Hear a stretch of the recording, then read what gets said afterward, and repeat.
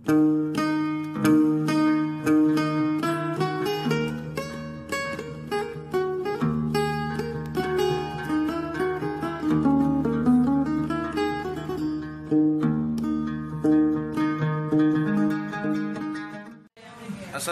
warahmatullahi wabarakatuh. Oh, ini rada gelap ini. uh, masih di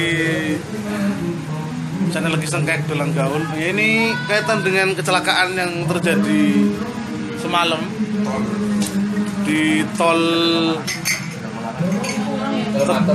Tegal Pemalang kilometer berapa? 263 yang menimpa grup Hadroh Al Munsidin dari Pekalongan. Ya kami dari rombongan Satria Laras Abu Nawas Tegal. Dan saya pribadi Kisengnya Suwarno.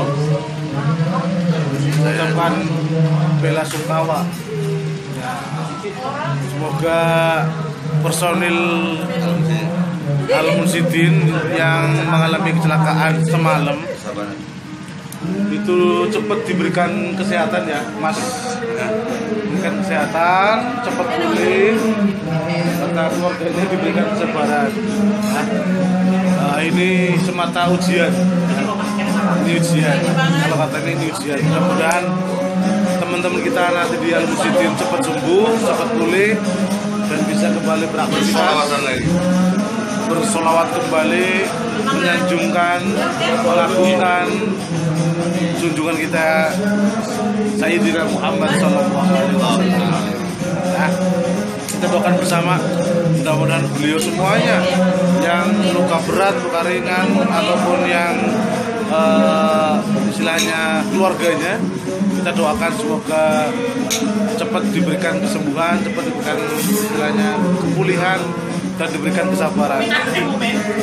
Karena memang uh, aktivitas dari grup urban uh, Kumpatro ini memang cukup mobile cukup tinggi karena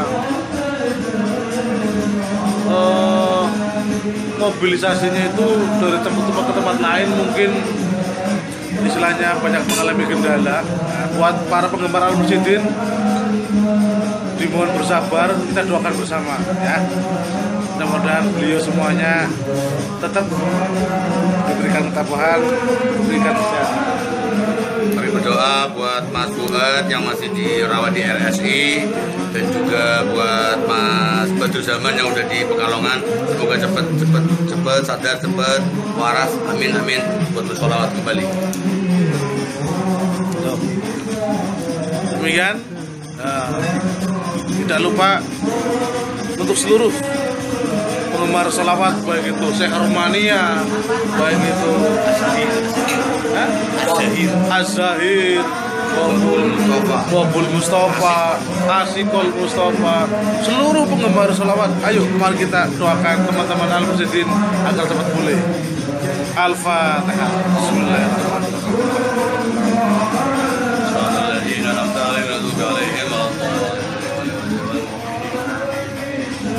kasih.